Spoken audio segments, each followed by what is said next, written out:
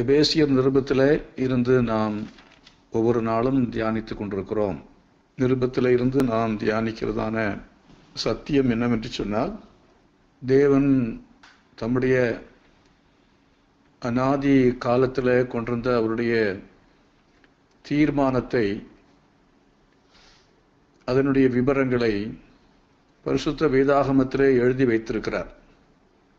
அப்படி அவர் தம்முடைய அனாதி காலத்தில் உலகம் தோன்றும் என்பதாகவே அவர் தம்முடைய தீர்மானத்தையும் அதன் விவரங்களையும் தம்முடைய ஊழியர்களுக்கு அவர் வெளிப்படுத்தினார். தீர்க்க தரிசிகளுக்கு அவர் வெளிப்படுத்தினார். அவ்விதமாய் தேவன் வெளிப்படுத்தின அந்த வெளிப்படுத்தல் பற்றிய விஷயங்களை பற்றி வேதத்திலே நாம் வாசிக்கும் எப்ரேர் எப்ரேயர் நிருபத்தில் ஒன்றாம் அதிகாரத்திலே ஒன்றாம் வசனத்தில் படிக்கிறோம். பூர்வ காலங்களில் பங்கு பங்காகவும் வகை வகையாகவும் தீர்க்க தரிசிகள் மூலமாய் பிதாக்களுக்கு திருவுளம் பற்றினார் என்று சொல்லியிருக்கிறது. ஆகவே அவருடைய தீர்மானங்களை அவருடைய லட்சியங்களை அவருடைய நோக்கங்களை அவருடைய மனதில் இருந்ததான திட்டங்களை பூர்வ காலங்களில் என்று சொல்லும்போது அதாவது இந்த பழைய ஏற்பாட்டு காலத்தை குறிக்கும். பழைய ஏற்பாட்டு காலங்களில் அதாவது புதிய ஏற்பாடு பழைய ஏற்பாடு என்று ரெண்டு காலம் இருக்கிறது.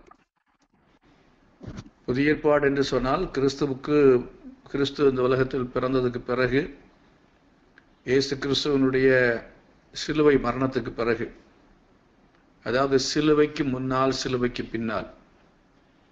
சிலுவையில் இயேசு தன்னுடைய இரத்தத்தை சிந்தி மறித்த அந்த மறித்ததன் மூலமாய் உடன்படிக்கையை ஏற்படுத்தினதற்கு முன்பு அதுக்கு பிறகு புதிய உடன்படிக்கை. இயேசு கிறிஸ்துவனுடைய இரத்தத்தினாலே சிலுவையிலே சிந்தின இரத்தத்தினாலே அந்த பலியினாலே ஏ தேவன் தம்முடைய குமாரனாகிய இயேசு கிறிஸ்து மூலமாக ஏற்படுத்தின பலி. இல்லாவிட்டால் த பலியினுடைய நிறைவேறுதல். அதை இயேசு கிறிஸ்துவுக்குள் நிறைவேற்றிய அந்த நிறைவேறுதலை தான் புதிய உடன்படிக்கை என்று சொல்லி பார்க்கிறோம். ஆகவே அந்த புதிய உடன்படிக்கையின் பிறகு உள்ள காலம் புதிய உடன்படிக்கையின் காலம். இல்லைன்னா புதிய ஏற்பாடு என்று பெயர். ஏற்பாடு என்றால் உடன்படிக்கை. அதே போல பழைய உடன்படிக்கை. பழைய உடன்படிக்கை என்பது கிறிஸ்துவுக்கு முன்பு தேவன் செய்த உடன்படிக்கை. ஆகவே இந்த உடன்படிக்கையின் காலங்கள். அந்த பழைய ஏற்பாட்டு காலத்தில் அதைத்தான் இங்கே பூர்வ காலங்களில் என்று சொல்லியிருக்கிறது அப்படி என்றால் காலங்கள் பூர்வத்திலேயும் காலங்கள் என்று பார்க்கிறோம். பூர்வத்தில் உள்ள காலங்கள் எவைகள் என்று நாம் பார்த்தோம் என்றால் பூர்வ காலங்களில் மன முதலாவது அது மன மனசாட்சியின் பாவம் இல்லாத காலம் என்று சொல்லலாம். பாவம் இல்லாத காலம். இப்போ பாவம் இல்லாத காலம் எப்போது?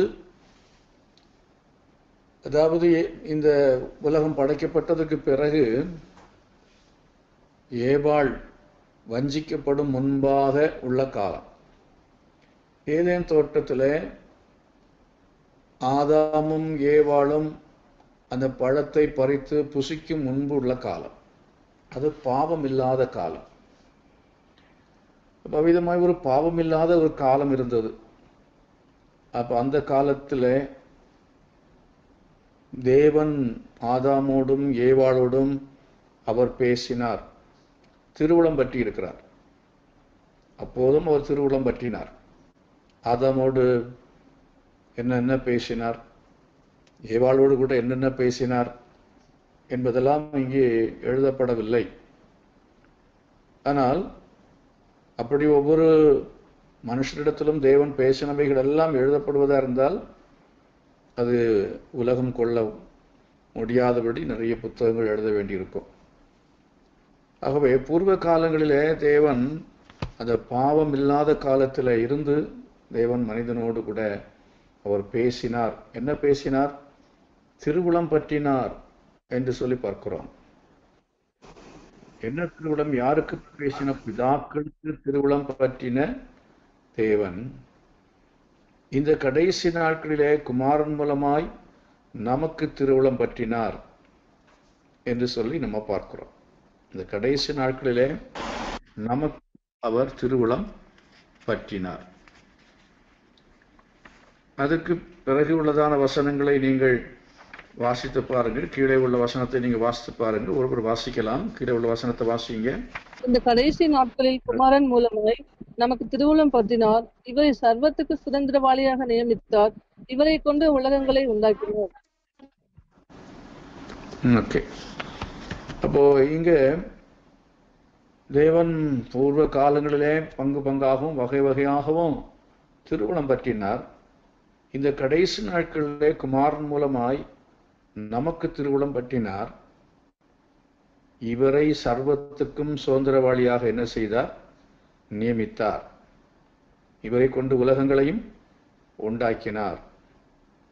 இவர் அவருடைய மகிமையின் பிரகாசமும் அவருடைய தன்மையின் சொரூபமாயிருந்து சர்வத்தையும் தம்முடைய வல்லமையுள்ள வசனத்தினாலே தாங்குகிறவராய் தம்மாலே தாமே நம்முடைய பாவங்களை நீக்கும் சுத்திகரிப்பை உண்டு பண்ணி உன்னதத்துள்ள மகத்துவமானவருடைய வலது பார்சத்திலே உட்கார்ந்தார். என்று நாம் பார்க்கிறோம். அடுத்த வசனம் சொல்லுகிறது இவர் தேவதூதரை பார்க்கிலும் எவ்வளவு விசேஷித்த நாமத்தை சுதந்திரித்து கொண்டாரோ அவ்வளவு அதிகமாய் அவர்களிலும் மேன்மை உள்ளவரானார். எப்படியெனில் நீர் என்னுடைய குமாரன் இன்று நான் உம்மை ஜெனிப்பித்தேன் என்றும் நான் அவருக்கு பிதாவாயிருப்பேன் அவர் எனக்கு குமாரனாயிருப்பார் என்றும் அப்புறம் தேவதூரில் யாருக்காவது எப்போதாகிலும் சொன்னதுண்டா? என்ற ஒரு கேள்வியை இங்கே நம்ம என்ன செய்கிறோம்? பார்க்கிறோம். இங்கே நாம் ஏற்கனவே நான் சொன்னது போல எங்க வேத புத்தகத்துல எப்படின்னு சுற்றி சுற்றி வந்தாலும் இந்த தேவனுடைய திட்டம் தேவனுடைய தீர்மானம் அதை பற்றிய அவருடைய அஹ், நோக்கங்கள் அவருடைய லட்சியங்கள் இவைகளைத்தான் இந்த பரிசுத்த வேதாகமத்திலே நாம் என்ன செய்ய முடியும்? பார்க்க முடியும்.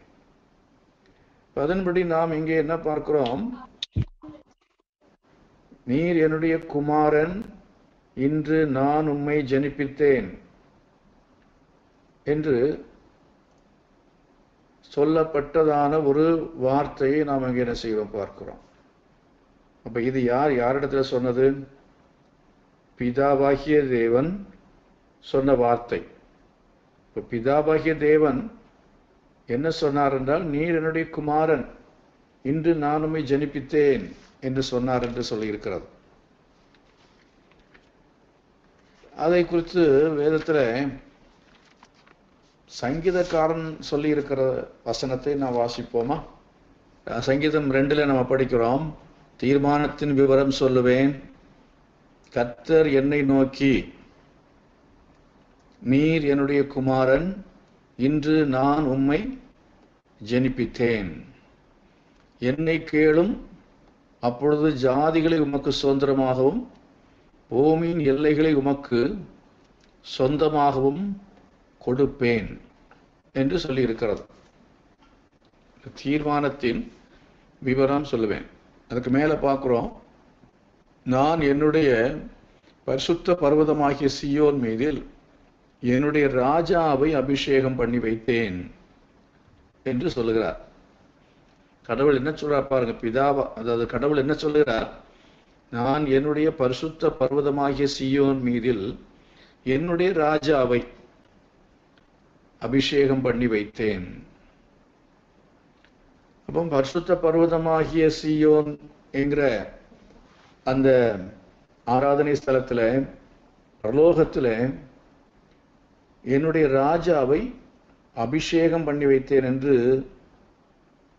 தேவன் சொல்லுகிறார் என்று சொன்னால் அங்கே பரலோகத்தில் பரிசுத்த பர்வதமாகிய சியோனில் அந்த ஆளுகைக்கு அங்கே உள்ளதான அங்கே பரலோகத்தில் சியோன் என்பது தலைநகரம். பரலோகத்தின் தலைநகரம். சியோன் என்பது பரலோகத்துக்கு அதாவது புதிய எருசலேம் என்கிற அந்த பட்டணத்தை பற்றி நம்ம படிக்கிறோம் வெளிப்படுத்தின விசேஷத்தில் புதிய எருசலேம் என்கிற நகரம். அதுதான் பரலோகத்துக்கே ஒரு தலைநகரமாக இருக்கிறது. அந்த புதிய எருசலேமில் ஒரு இடம்தான் சியோன். அந்த சியோனை பற்றியெல்லாம் நம்ம படிக்க படிக்க இப்பொழுது சமயம் இல்லை அப்படி என்றால் தலைநகரத்தில் யார் இருப்பா? இப்போ தலைநகரத்தில் வந்து ஆஹ், ஒருத்தரை பிரைம் மினிஸ்டராக ஆட்சி செய்வதற்கு ஒருத்தரை ஏற்படுத்தி வைக்கிறாங்க இந்தியாவில். பிரதமரை ஏற்படுத்தி வைக்கிறது யார்? ஜனாதிபதி ஏற்படுத்தி வைக்கிறார். அப்போ ஜனாதிபதி ஏற்படுத்தி ஆஹ், வைக்கும் பொழுது அவர் ஜனாதிபதி பெரியவரா இல்லை பிரைம் மினிஸ்டர் பெரியவரா ஒரு கேள்வி வருகிறது. இந்தியாவை ஆட்சி செய்யும்படியாக பிரதமரை ஏற்படுத்தி வைக்கிற ஜனாதிபதி பெரியவரா இல்லை பிரதமர் பெரியவரா? இப்போ அதே விதமாகத்தான் இங்கே நம்ம பார்க்குறோம். இங்கே ஜனாதிபதியும் பிரதமர் இவர்களெல்லாம் ஒன்றுக்கொன்று இவர்கள் பெரியவர்கள் சிறியவர்கள் என்பது அல்ல. ஒரே அதிகாரம். இவர் அவரை ஏற்படுத்துவார் அவர் இவரை ஏற்படுத்துவார். ஜனாதிபதி ஏற்படுத்துகிறது யார்? ஜனாதிபதி ஏற்படுவதற்கு காரணமாக இருப்பது யார்? பிரதமர். பிரதமர் தான் ஜனாதிபதியை தெரிந்து கொள்வார். பிரதமர் தனியாக தெரிந்து கொள்ள முடியாது. அதற்குரியதான ஒழுங்குகளை வைத்து அவங்க தெரிந்து கொள்கிறார்கள். அப்படி ஜனாதிபதியை ரெக்கமெண்ட் பண்றதே அவருடைய தலைமையில் தான் அப்போ ஜனாதிபதி அப்புறம் பிரதமர் என்ன செய்கிறார் என்றால் பதவி பிரமாணம் செய்து வைக்கிறார். ஜனாதிபதி இல்லாமல் அவர் பிரதமராக பதவி பிரமாணம் செய்ய முடியாது. இப்போ இன்னொன்று சொல்லுகிறேன். இந்த ஜ- ஜனாதிபதியை பதவி பிரமாணம் செய்து வைக்கிறது யார்? சுப்ரீம் கோர்ட்டு அதாவது உச்ச நீதிமன்றத்தினுடைய தலைமை நீதிபதி. அவர் அவரை என்ன செய்கிறார்? அவரை பதவி பிரமாணம் செய்து வைக்கிறார். உச்ச நீதிமன்றத்தினுடைய தலைமை நீதிபதியை பதவி பிரமாணம் செய்து வைக்கிறது யார்? ஜனாதிபதி செய்து வைக்கிறார். இப்ப இதுல இந்த ஒரு மூன்று முக்கூறு மூன்று இந்த ஆட்சியில மூன்று பகுதியை நம்ம பார்க்குறோம். இந்த மூன்று பகுதியும் இல்லாமல் ஒரு ஆட்சி என்பது நடைபெறாது. ஆனால் சர்வாதிகார ஆட்சியை பாருங்கள். அங்கே நீங்கள் ஜனாதிபதி என்றோ இப்படி இந்த மூன்று விதமாக ஒருவரை ஒருவர் ஏற்படுத்துவது என்கிற இந்த அதிகார பகிர்வுகள் இல்லை என்றால் இந்த விதமான அதிகாரத்தில் உள்ளதான என்ன சொல்லுவது ஒரு கூட்டு தன்மை என்பதை நாம் என்ன செய்ய முடியாது? பார்க்க முடியாது. இது சர்வாதிகாரம். அந்த விதமாக நம்முடைய தேவன் ஒரு சர்வாதிகாரி அல்ல என்பதை இந்த வசனம் நமக்கு மிக தெளிவாய் சொல்கிறது நம்முடைய தேவன் அவர் சர்வாதிகாரி அல்ல.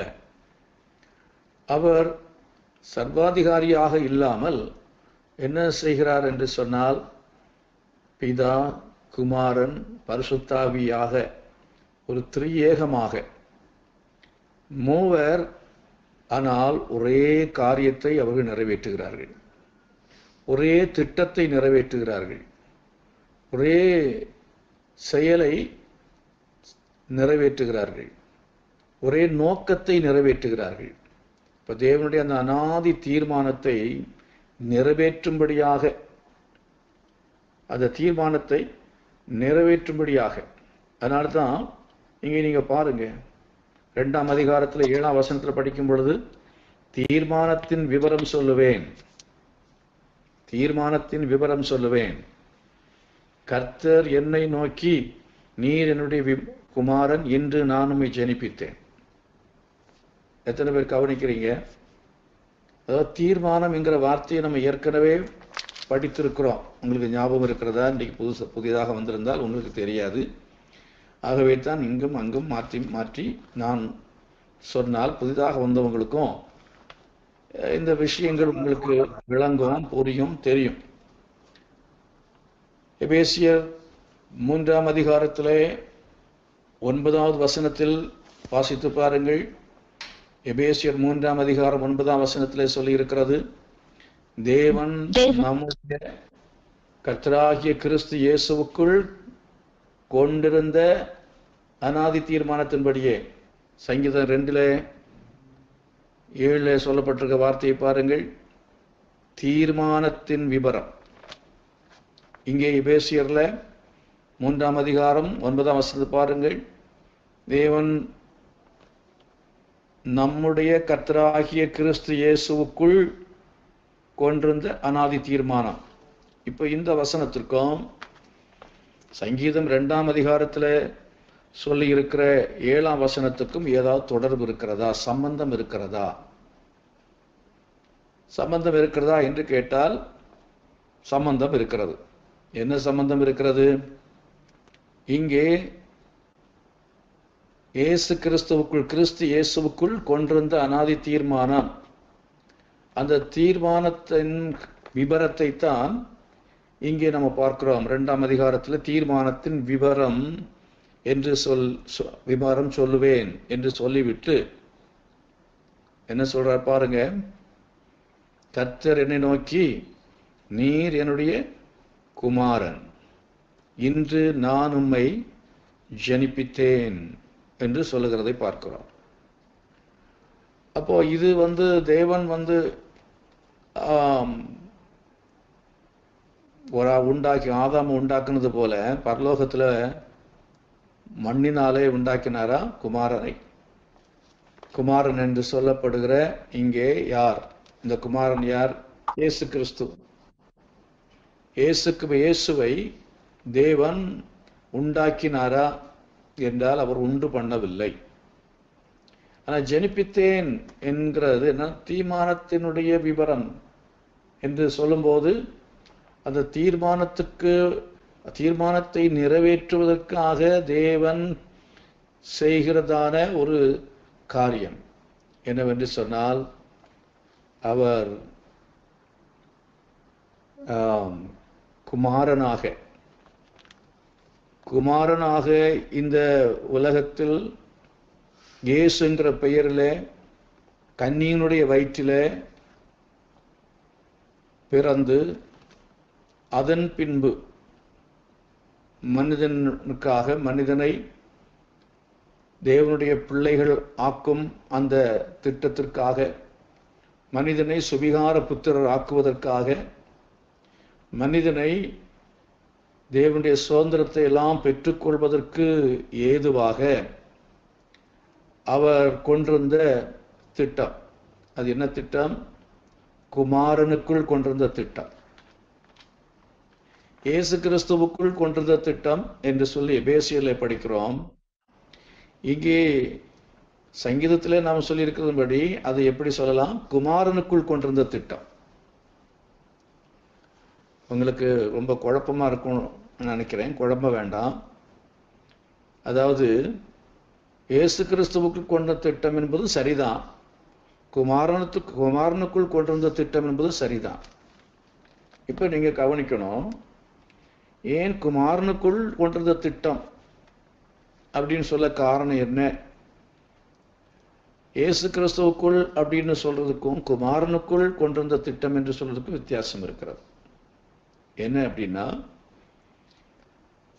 குமாரனுக்குள் கொண்டிருந்த திட்டம் என்று சொன்னால் குமாரன் என்று இன்று நான் ஜெனிப்பித்தேன் என்று என்னுடைய குமாரன் என்று சொல்லி ஒரு குமாரனாக இங்கே ஜெனிப்பிக்கப்பட்டவராக இவரை சொல்லி இந்த உலகத்திலே ஒரு குமாரனை குமாரனாக வெளிப்பட்டு குமாரனாக ஜெனிப்பிக்கப்பட்டு இந்த குறித்த காலத்தில் ஸ்திரீயிடத்தில் ஒரு தோன்றி தேவகுமாரன் என்றும் மனுஷகுமாரன் என்றும் காணப்பட்டார் விளங்கப்பட்டார்.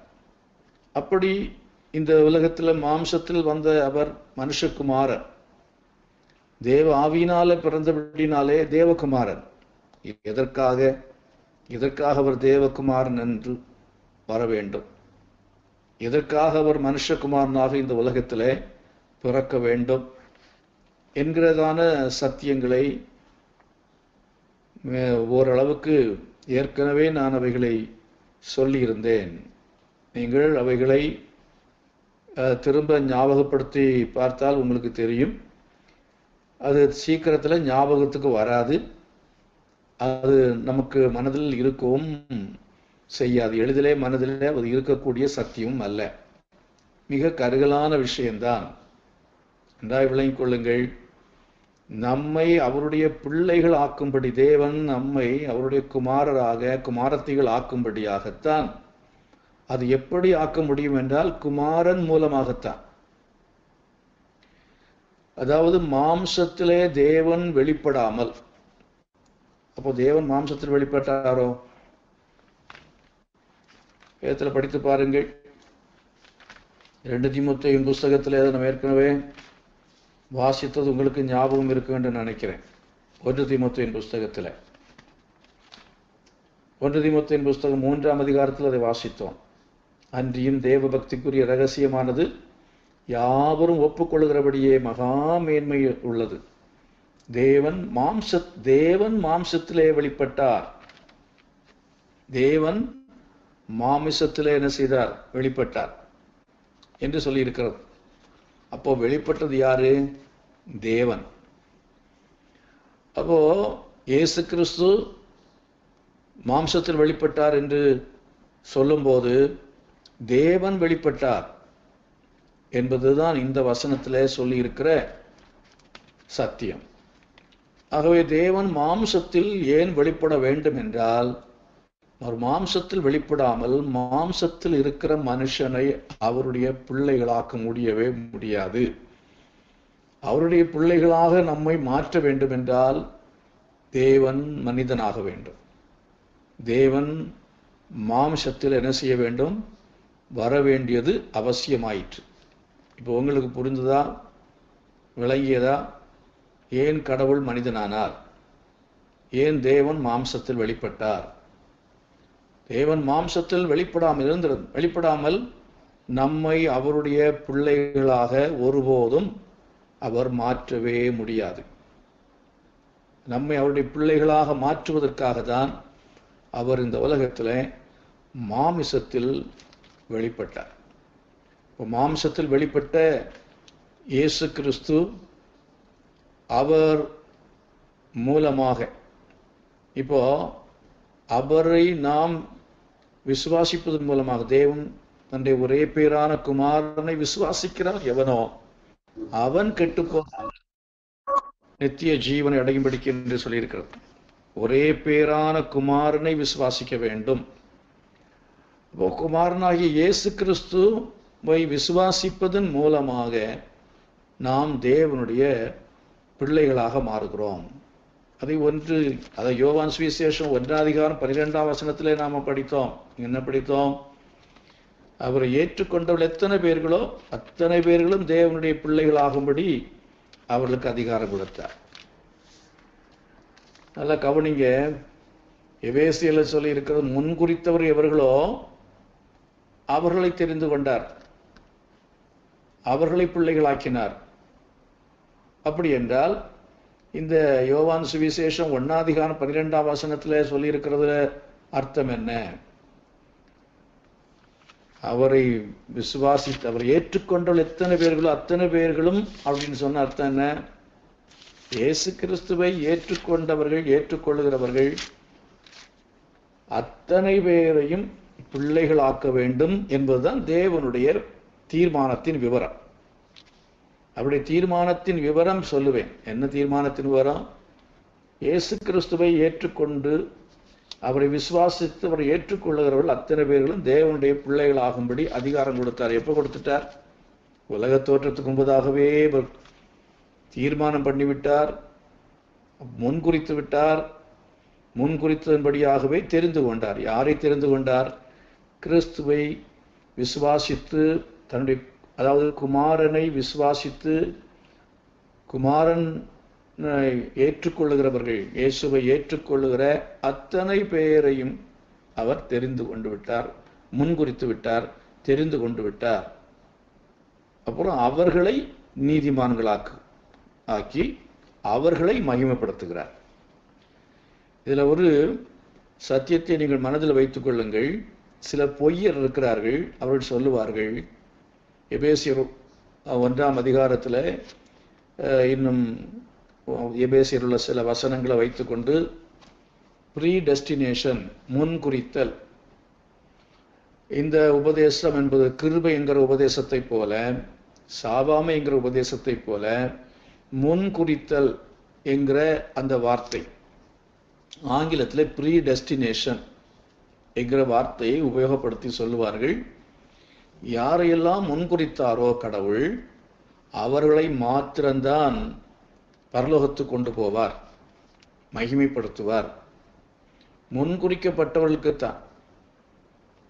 அதை இன்னும் சொல்லும் பொழுது அதனால தான் யாக்கோவை நேசித்தேன் சிநேகித்தேன் ஏசா வெறுத்தேன் என்று சொல்லுகிறார் அல்லவா? ஆனபடினாலே இந்த உலகத்தில் உள்ள எல்லாரும் என்னதான் தலைகீழாக நின்னாலும் பரலோகத்துக்கு போக முடியாதுங்க. மோட்சத்துக்கு போக முடியாது. அது வந்து இந்த இந்துக்கள் சொல்கிறாங்க பாருங்க. தலையெழுத்துன்னு சொன்ன மாதிரி இவங்களும் சொல்கிறாங்க அது எழுதி வச்சுட்டார். எவன் போகணுங்கிறது எழுதி வச்சுட்டார். அவன் தான் போவான். அவன் அவன் போகணுங்கிறத அவங்க கூட தீர்மானம் பண்ணி வச்சிருக்காரு. அவங்க அவங்கள அவர்களைத்தான் அவர் ரட்சிப்பார். அப்படி என்று சொல்லி அநேகர் பேசுகிறார்கள். பேசுகிற ஒரு கூட்டம் பெருங்கூட்டம் அது ஒரு கூட்டம் இருக்கிறது.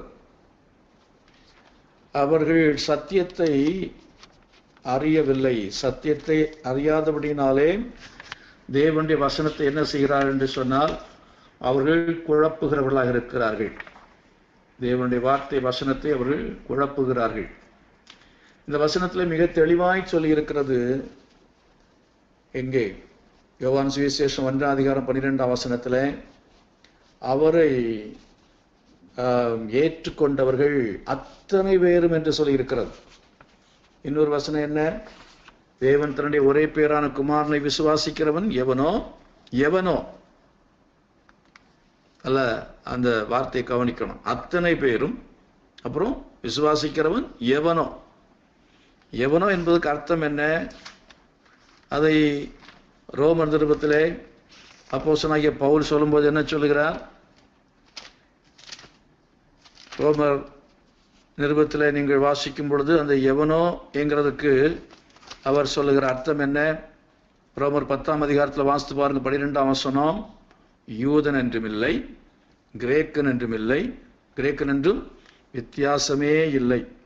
எல்லாருக்கும் கத்தரானவர் தம்மை தொழுது கொள்கிற யாவருக்கும் ஐஸ்வர்ய சம்பன்னராயிருக்கிறார். இங்க பாருங்க.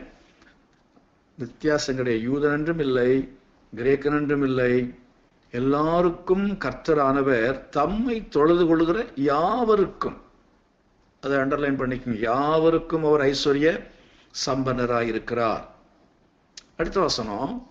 ஆதலால் கர்த்தருடைய நாமத்தை தொழுது கொள்ளுகிற எவனும் ரட்சிக்கப்படுவான். இப்போ பிரச்சனை என்ன அப்படின்னா அடுத்த வசனத்தில் பதினான்காம் வசனத்தில் படிக்கிறோம் அவரை விசுவாசியாதவர்கள் எப்படி அவரை தொழுது கொள்வார்கள்?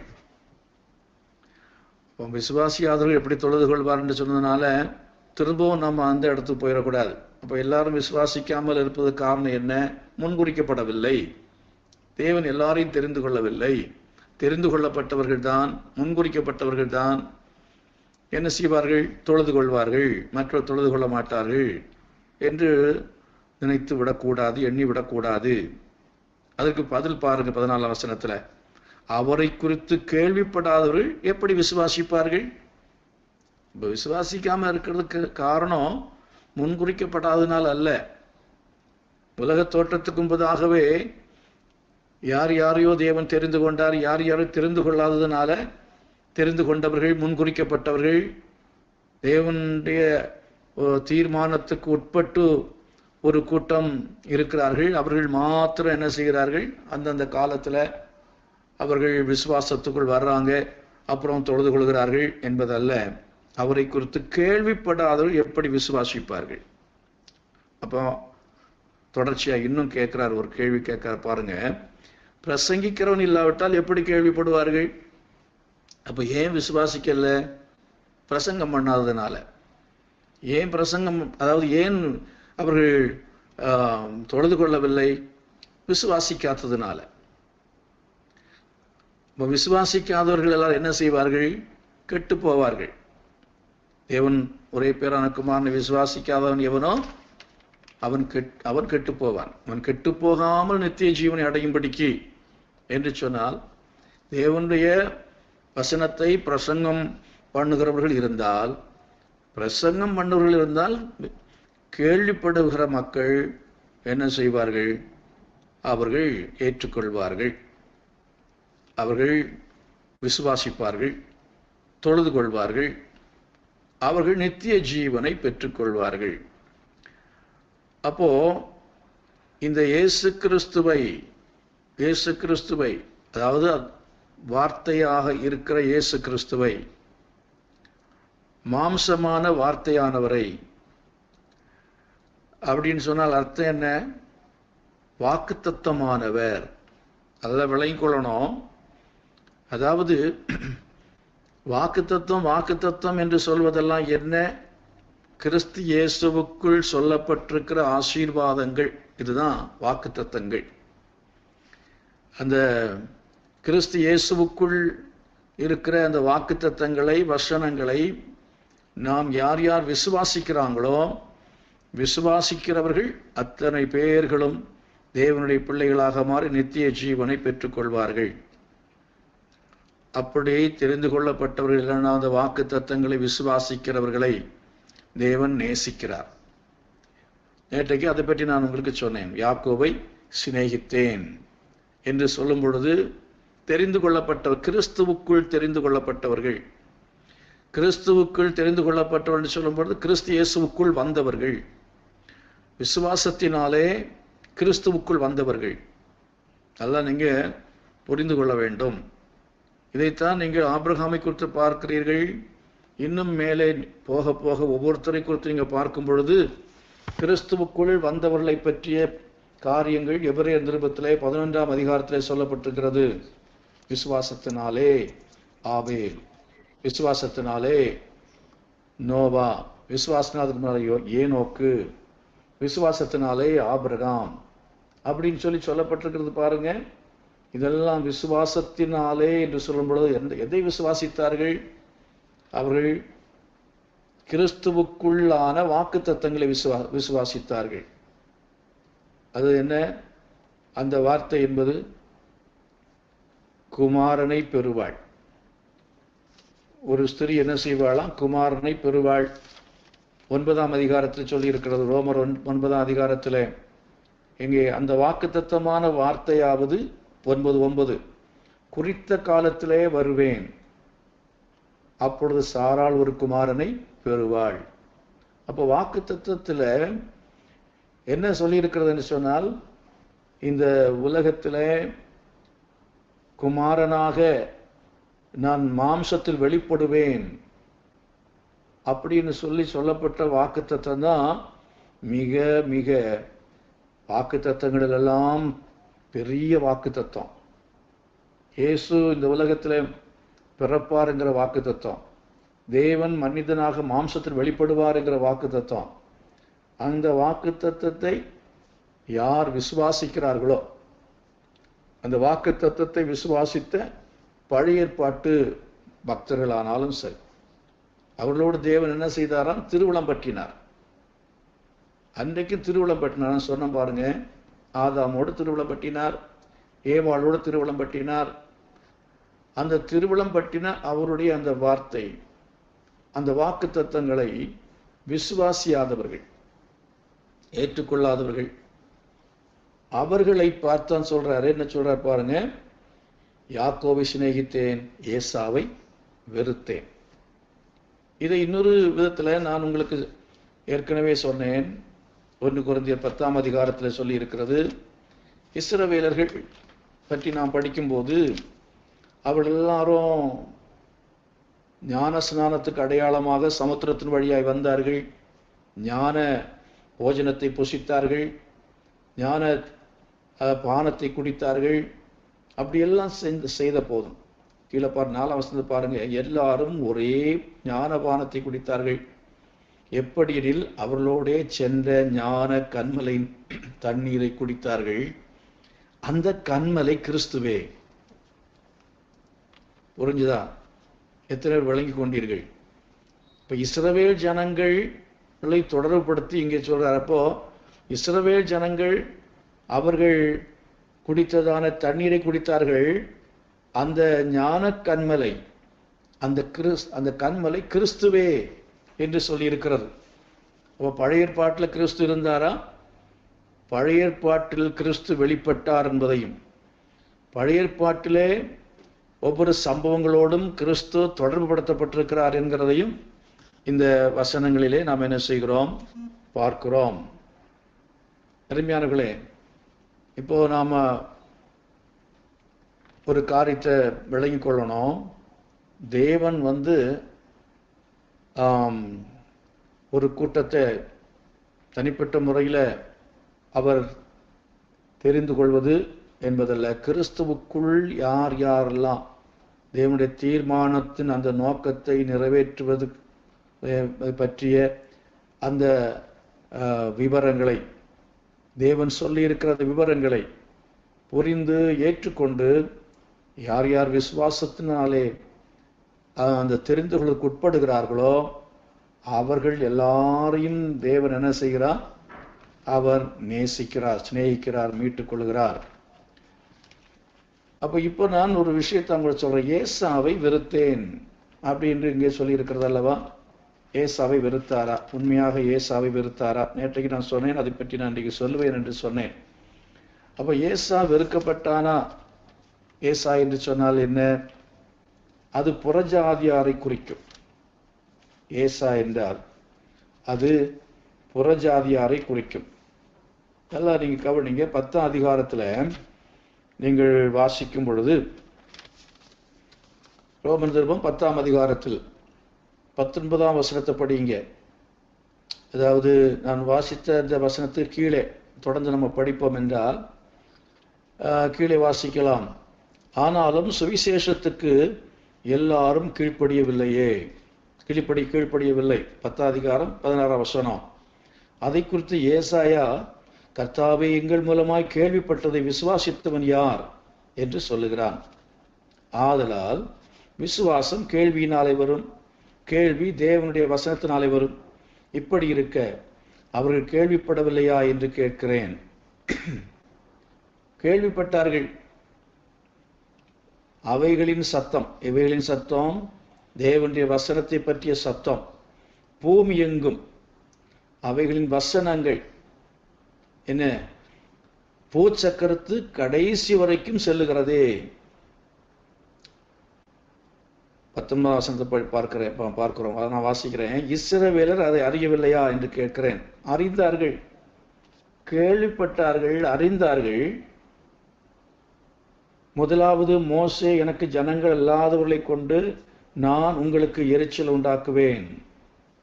புத்தீனமுள்ள ஜனங்களாலே உங்களுக்கு கோபம் ஊட்டுவேன் என்றார்.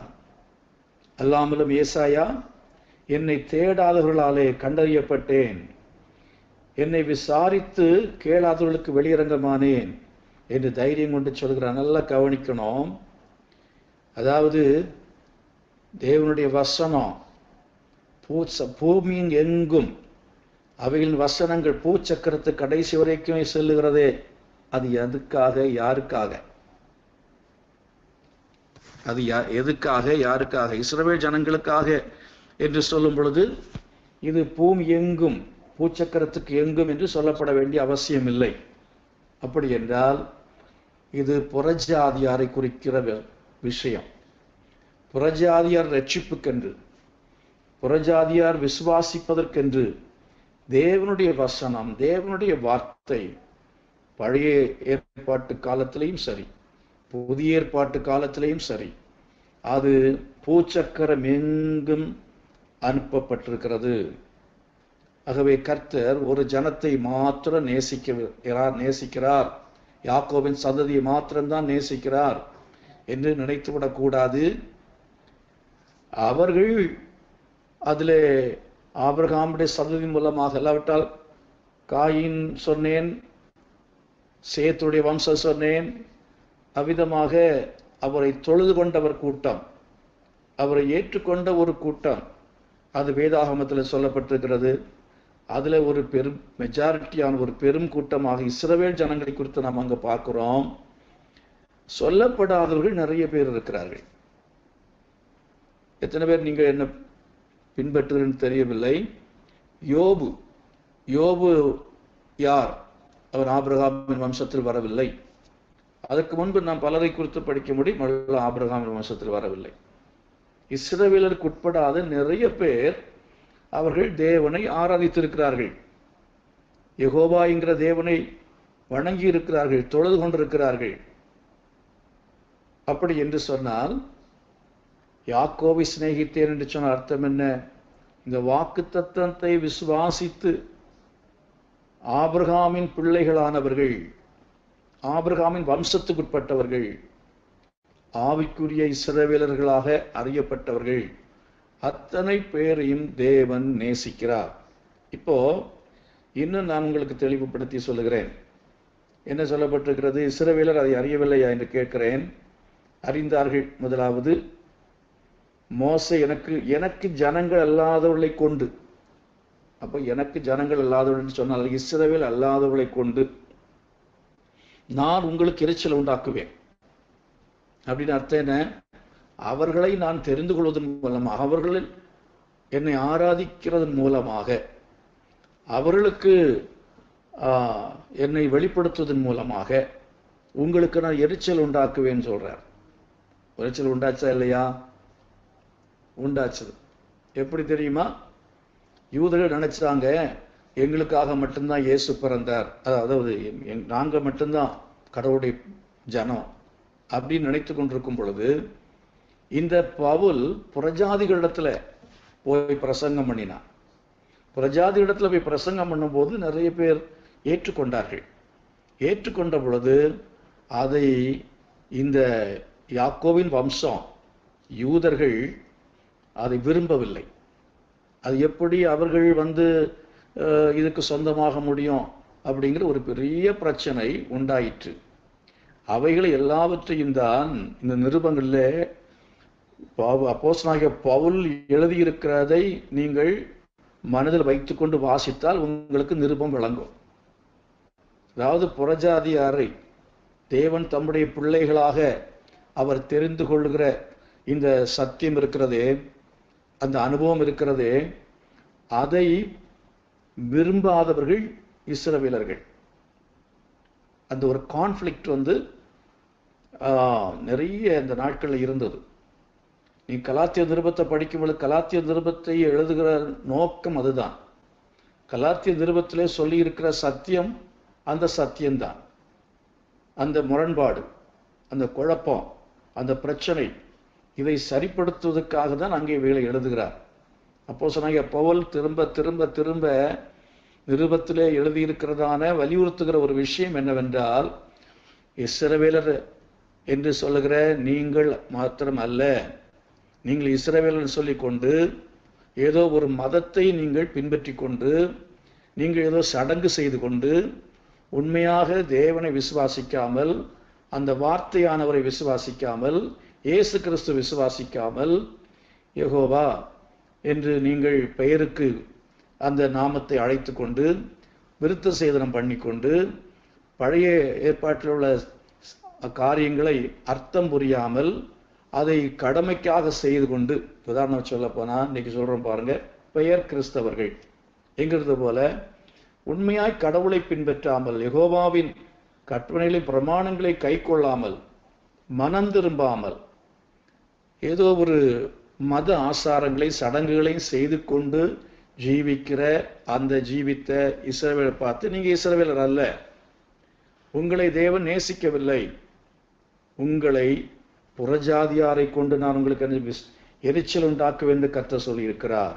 அதைத்தான் இப்போ செய்கிறார்னு சொல்லி அப்போ சொன்னாங்க பவுல் இங்கே ரோமர் நிருபத்தில் எழுதுகிறதை பார்க்கிறோம். அப்போ கீழே பாருங்க இருபத்தி ஒன்னாம் வசனத்துல இசர இஸ்ரவேலரை குறித்தோ கீழ்ப்படியாதவர்களுக்கும் கீழ்ப்படியாதவர்களும் எதிர்த்து பேசுகிறவர்களுமாயிருக்கிற ஜனங்களிடத்திற்கு நாள் முழுவதும் என் கைகளை நீட்டினேன் என்று அவர் சொல்லியிருக்கிறார். அவன் சொல்லியிருக்கிறார் அப்ப இஸ்ரவேலரை குறித்தோ எப்படி சொல்லியிருக்கிறார்? இல்லை. அதாவது கீழ்ப்படியாதவர்களும் எதிர்த்து பேசுகிறவர்களுமாயிருக்கிற ஜனங்களிடத்திற்கு நாள் முழுதும் என் கைகளை நீட்டேன் என்று அவன் சொல்லியிருக்கிறான். இது உங்களுக்கு விளங்குச்சுதா விளங்கலே தெரியல. நல்லா கவனிக்கணும். என்ன அப்படின்னு கேட்டா அதாவது தேவன் இஸ்ரவேலர்களை குறித்து என்ன செய்கிறான்னு என்று சொன்னால் அவர் தன்னுடைய கையை நீட்டி இருக்கிறார். நாள் முழுவதும் நீட்டினேன். எப்படி நீட்டுகிறார்? கோழி தன் குஞ்சுகளை சேர்த்து கொள்ளும் வண்ணமாக எத்தனை தரமோ நான் என்ன செய்தேன்? நான் உங்களை என்ன செய்தேன்? கரங்களை நீட்டினேன். நான் உங்களுக்கு வாய்ப்பு கொடுத்தேன். நான் உன்னை சேர்த்து கொள்ளும் கொள்வதற்காக நான் ஆயத்தமாக இருந்தேன். ஆனால் நீங்களோ என்னை என்னை என்னிடத்தில் வரவில்லை. இவ்வளோ வாய்ப்புகளை கொடுத்தேன். எத்தனையோ தீர்க்கதரிசிகளை அனுப்பினேன். ஏசாயா எசேக்கியேல் இரேமியா ஓசியா தீர்க்கதரிசிகளை நான் அனுப்பினேன் பேசினேன். ஆனால் நீங்கள் புறமுது காட்டினீர்கள். நீங்கள் தீர்க்கதரிசிகளை நான் கொன்று போட்டீர்கள். என் கைகளை நான் நாள் முழுவதும் நீட்டினேன் என்றால் ஒரு நாள் அல்ல. ஒரு குறிப்பிட்ட கால அளவு. சொல்லப்போனால் எத்தனை வருஷமாக இந்த பழைய ஏற்பாட்டில் பாருங்கள் இந்த யாக்கோவின் வம்சத்துக்கு நேராக தன்னுடைய கையை அவர் இரக்கத்தின் கையை நீட்டினார். வா மகனை மனம் திரும்பு. நீ என்ன செய் விக்கிரகத்தை விட்டு விட்டு வா. என்று தேவன் திரும்ப திரும்ப தீர்க்கதரிசிகளை கொண்டு கரங்களை நீட்டி என்ன செய்தார்? அவர்களை அழைத்தார். ஆனால் அவர்கள் என்ன செய்தார்கள்? அவருடைய அந்த அழைப்பை புறக்கணித்து தள்ளினபடினாலே கர்த்தர் இவர்களை தள்ளிவிட்டார். அப்படி இருந்தாலும் ரோபர் பதினொன்றாம் அதிகாரத்தை பாருங்க. இப்படி இருக்க பெண்ணாவசனம். தேவன் தம்முடைய ஜனங்களை தள்ளிவிட்டாரோ என்று கேட்கிறேன். அப்போ சொன்னீங்க பவுல் பாருங்க இங்கேயும் பேசுறாரு அங்கேயும் பேசுறார். இதையும் விட மாட்டேங்கிறார் அவங்க விட மாட்டேங்கிறார். இப்ப என்ன பாருங்க. அதாவது அப்படி இருந்ததுனால இது இஸ்ரவேலர் எல்லாரையும் தள்ளிவிட்டாரோ? முழுமையாக இல்லை. யாக்கோவை சிநேகித்தேன். எப்படி சிநேகித்தாராம்? நானும் ஆபிரகாமின் சந்ததியிலும் பென்னிமீன் கோத்திரத்திலும் பிறந்த இஸ்ரவேலன். கீழே சொல்றார் பாருங்க தேவன் தாம் முன்னறிந்து கொண்ட தம்முடைய ஜனங்களை தள்ளிவிடவில்லை. எலியாவை குறித்து சொல்லிய இடத்தில் வேதம் சொல்லுகிறதை அறியீர்களா? அவன் தேவனை நோக்கி கர்த்தாவே உம்முடைய தீர்க்கதரிசிகளை அவள் அவர்கள் கொலை செய்து உம்முடைய பலிபீடங்களை இடித்து போட்டார்கள். நான் ஒருவன் மாத்திரம் மீதியா இருக்கிறேன் என் பிராணனையும் வாங்க தேடுகிறார்களே என்று இஸ்ரவேலருக்கு விரோதமாய் விண்ணப்பம் பண்ணின போது இஸ்ரவேலர்லாம் என்ன பண்ணாங்க?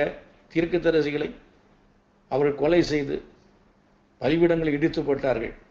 அதை செஞ்சது யார்? இஸ்ரவேலர் தான் செஞ்சாங்க. அப்படி செய்த பொழுது எலியா சொல்கிறான் இஸ்ரவேலுக்கு விரோதமாய் விண்ணப்பம் பண்ணுகிறான்.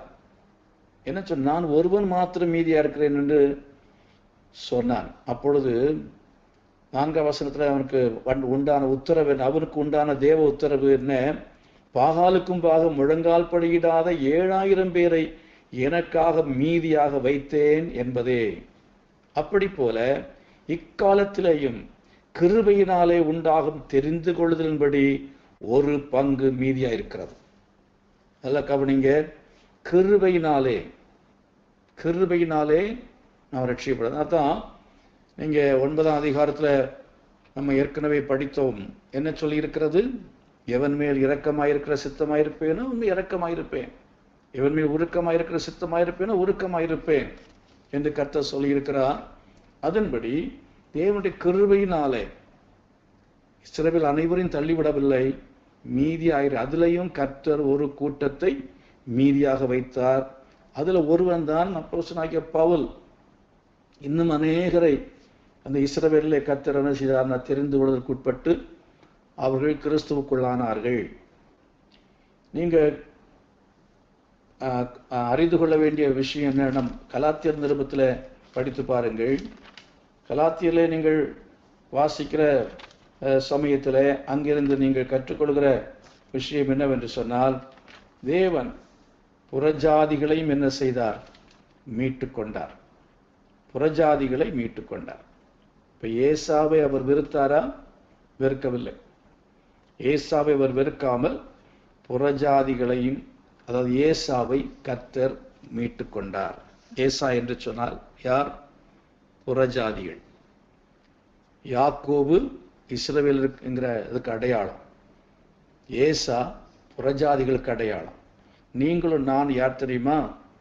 நீங்களும் நானும் புறஜாதிகளுக்கு புறஜாதிகளுக்குட்பட்டவர்கள் யூதர்கள் அல்லாதவர்கள். யூதர்கள் அல்லாதவர்களாகிய நம்மை தேவன் என்ன செய்தார் என்று சொன்னால் அவர் தெரிந்து கொண்டிருக்கிறார். இதை பற்றி பரிசுத்த வேதாகமத்திலே நீங்கள் வாசிக்க முடியும். அதுக்கு ஒரு தெளிவான வசனம் நமக்கு சொல்லப்பட்டிருக்கிறது.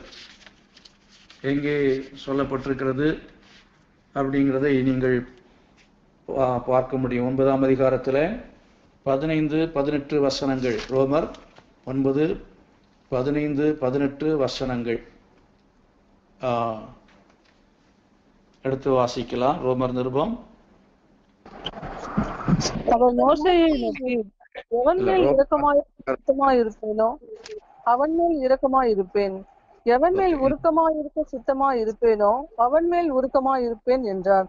ஆகையால் விரும்புகிறவனாலும் அல்ல ஓடுகிறவனாலும் அல்ல இறங்குகிற தேவனாலே யாம் அப்போ ரோமர் பத்தாம் அதிகாரத்துல பதினெட்டுல இருந்து இருபத்தி ஒன்று வரையிலும் வசனத்தை வாசித்து பாருங்க. ரோமர் பத்து பதினெட்டுல இருந்து இருபத்தி ஒன்று வரையிலும் வசனங்கள். இப்படி இருக்க அவர்கள். கேள்விப்படவில்லையா என்று கேட்கிறேன். கேள்விப்பட்டார்கள். அவைகளின் சத்தம் பூமி எங்கும் அவைகளின் வசனங்கள் பூச்சக்கரத்து கடைசி வரைக்கும் சொல்லுகிறதே. இஸ்ரவேலர் அதை அறியவில்லையா என்று கேட்கிறேன். அறிந்தார்கள். முதலாவது மோசே ஆமாம் இது யாரை பற்றி சொல்லி இருக்கிறது என்று சொன்னால் இன்னும் நீங்கள் இப்போ நமக்கு சமயம் இல்லாதபடினாலே அந்த எல்லா வசனங்களையும் எடுத்து உங்களுக்கு நான் சொல்ல முடியவில்லை. அப்போ சொன்னாங்க பவுல் அதை குறித்து நீங்கள் நிருபங்களை படித்து பாருங்கள். புறஜாதிகளின் ரட்சிப்பை பற்றி இந்த நிருபங்களிலே முழுமையும் எழுதியிருக்கிறார். ஏசாவை தேவன் வெறுத்தாரோ வெறுத்து விட்டாரோ இல்லை. ஏசாவையும் தேவன் சிநேகித்தார். அப்போ அவரிடத்தில் அநீதி உண்டு என்று சொல்லலாமோ? இல்லை. யாக்கோவையும் சிநேகித்தார் ஏசாவையும் சிநேகித்தார் என்று சொல்லும்போது அதாவது யார் அவர் அவருடைய அந்த வாக்குத்தத்தங்களை ஏற்றுக்கொள்ளாமல் விசுவாசிக்காமல் இருக்கிறார்களோ அவர்களை கர்த்தர் என்ன செய்கிறார்? தள்ளிவிடுகிறார். அவருடைய அவருடைய வாக்குத்தத்தங்களை விசுவாசித்து ஏற்றுக்கொண்டவர்களை அதாவது அந்த தீர்மானத்துக்கு உட்- உட்பட்டவர்களை இந்த தீர்மானத்தின் விவரங்களை அவருடைய நோக்கத்துக்கு உட்பட்டு குமாரனுக்குள் வருகிறவர்களை கிறிஸ்துவுக்குள் வருகிற அனைவரையும் தேவன் அவர் என்ன செய்கிறான்னு சொன்னால் உலக தோற்றத்துக்கு முன்பதாகவே அவருடைய தீர்மானத்தின் அடிப்படையிலே அவர் எல்லாரையும் அவர் நேசிக்கிறவராக இருக்கிறார். அவர் சிநேகிக்கிற தெய்வம். ஒருவரையும் தள்ளவே மாட்டார். ஆவேதஞ்சு என்னிடத்தில் வருகிற ஒருவனையும் புறம்பே தள்ளுவதில்லை. என்னிடத்தில் வருகிற ஒருவனையும் புறம்பே தள்ளுவதில் அர்த்தம் என்ன? யாக்கோவையும் தள்ள மாட்டேன் ஏசாவையும் தள்ள மாட்டேன். ஆனால் என்னை விடுத்து என்னை விட்டு போகிறவன் அது யாக்கோபா இருந்தாலும் சரி அது ஏசாவா இருந்தாலும் சரி அவனை நான் புறம்பே தள்ளுவேன். ஆனால் என்னிடத்தில் வருகிற ஒருவனையும் நான் புறம்பே தள்ளுவதில்லை என்று ஆண்டவர் சொல்லியிருக்கிறார். ஆகவே நாம் கிறிஸ்துவுக்குள் வர வேண்டும். கிறிஸ்துவுக்குள் நாம் ஜீவிக்க வேண்டும். கிறிஸ்துவுக்குள் நாம் மறிக்க வேண்டும். அப்போ ஒரு நாளிலே நாம் கிறிஸ்துவுக்குள் உயிரோடு எழும்புவோம்.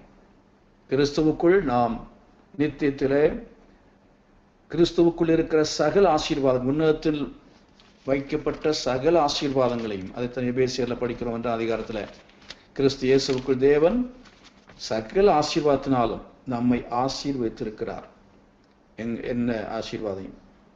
கிறிஸ்துவுக்குள் வைக்கப்பட்ட உன்னதத்தில் உள்ள ஆசீர்வாதம். அந்த ஆசீர்வாதங்கள் எல்லாவற்றையும் நம்ம சுதந்திரித்துக் கொள்ள போகிறோம். ஆகவே இதுவரை கிறிஸ்துவுக்குள் நாம் வரவில்லை என்றால் கிறிஸ்துவுக்குள்ள வரணும். கிறிஸ்துவுக்குள் நாம் நிலைத்திருக்க வேண்டும். ஒருவன் கிறிஸ்துவுக்குள் இருந்தால் சகலமும் புதிதாகிறது. பழையவிடெல்லாம் ஒழிந்து போகிறது என்று வேதம் சொல்கிறது ஆகவே பரிசுத்த வேதாகமத்தில் கிறிஸ்துவுக்குள் கிறிஸ்துவுக்குள் கிறிஸ்துவுக்குள் என்று எழுதப்பட்டிருக்கிற அந்த வார்த்தைகள் எல்லாவற்றையும் என்ன செய்யுங்க?